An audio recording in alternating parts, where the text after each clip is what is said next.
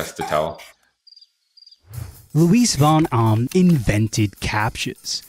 In the year 2000, he was a first year PhD student at Carnegie Mellon University. Just want to talk to him. Wait, Why do you have a shotgun? I just want to talk to him. Dad, this is ridiculous. I just want to talk to him. I just want to talk to him. I just want to talk to him. I just want to shoot him. I just want to talk to him. You can't shoot him. Wait, what? What are you doing?